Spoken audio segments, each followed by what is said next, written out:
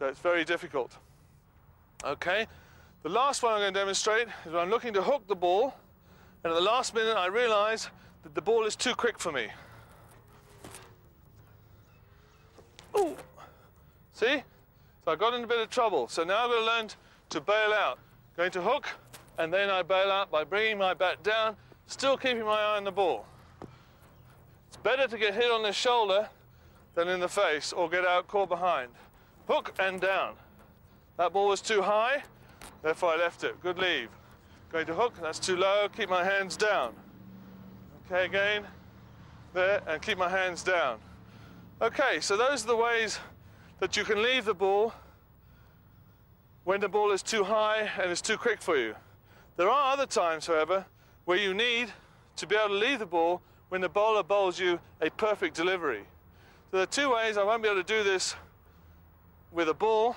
What I will do is try and explain to you how to leave the ball when it's pitching on a good length, moving off the seam, or swinging in the air.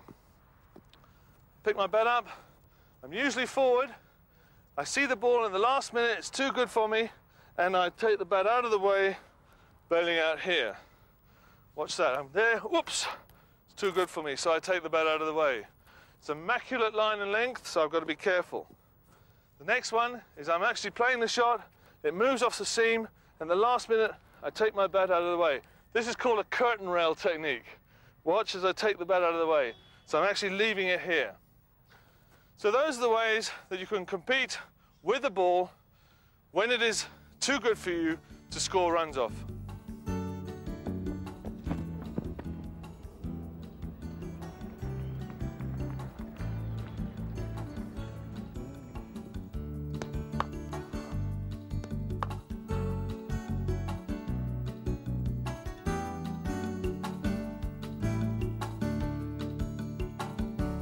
Just seen Dave Richardson play his favourite cut shot.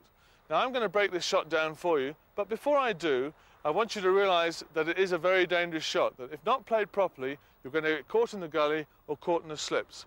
Okay, let's see how Dave plays it successfully.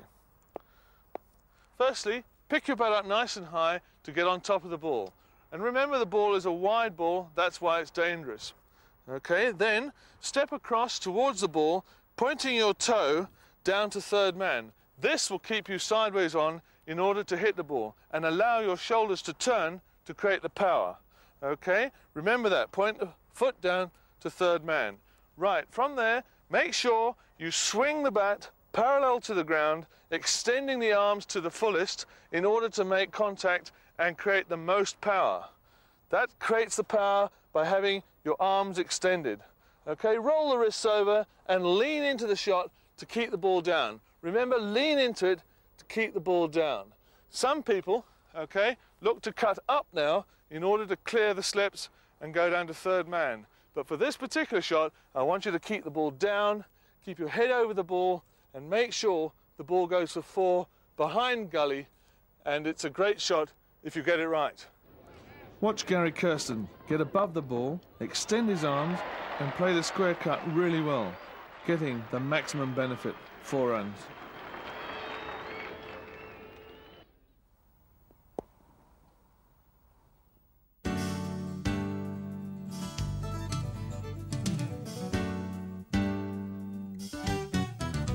There's a distinct difference between the square cut that I've just demonstrated and the late cut.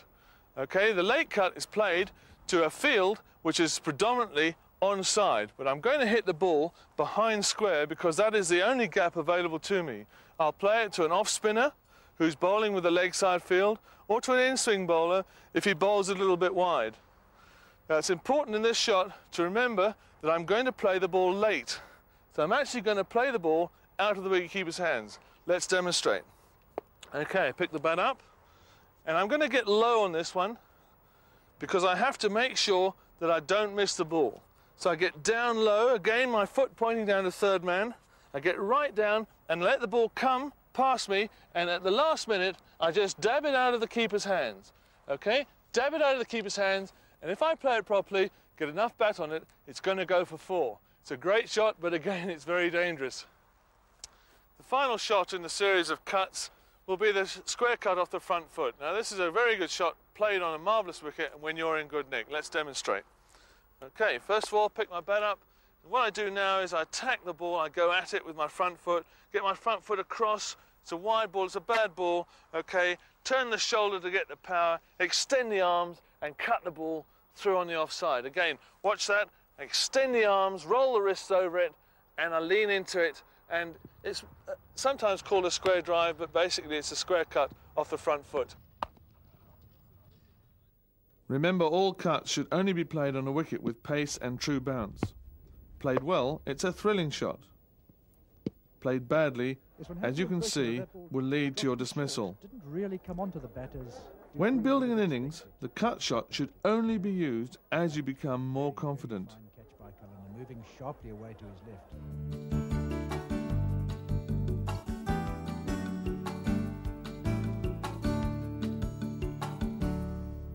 One of the more controversial shots today is the sweep shot. And with me to demonstrate the shot is Jonty Rhodes. Jonty, you enjoy playing the sweep. Why do you do it? You know, I just find that for a spin bowler to try and dominate me, he's got to bowl a very good line and length. And by using the sweep shot, I can actually upset his length. That's interesting. What about coming down the wicket? Isn't that an easier way to do it? You know, people get criticised for not coming down the wicket, but I find if the wicket is turning and I stay in my crease, I'm not going to get stumped. And uh, by playing a defensive sweep shot, I can actually get one. I'm not trying to hit fours every ball. But just by getting down to the other end, I'm out of the danger area. Okay, now let's demonstrate that shot.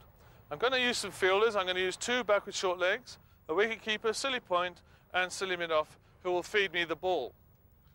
Okay, I'm going to start by getting Jonty to start in the finished position. That may sound Irish, but there we are. So that is the defensive sweep position at the end of the shot. Okay, so let's see. I'm going to lob the ball underarm onto the bat so he gets used to hitting the ball to the backward short legs. Okay, now the second part of the shot, Jonty's now going to take his hands back as though he's ready to move into that position, and I'm going to ask him to get into the position as the ball is coming down. Okay, Joe, and down. That's it. All right, and down again. That's it, well done. And now the third part, I'm going to ask him to stand up, okay, and do the whole shot together. All right and I lob the ball and he gets into position and throws it and uh, gets it going down. Okay, and again, and that's it. Good. Here, Jonty highlights the difference between the defensive and the conventional sweep. Getting his body in the same position, he swings his arms at full length, front pad in line and head forward. The intended result of this shot is four runs.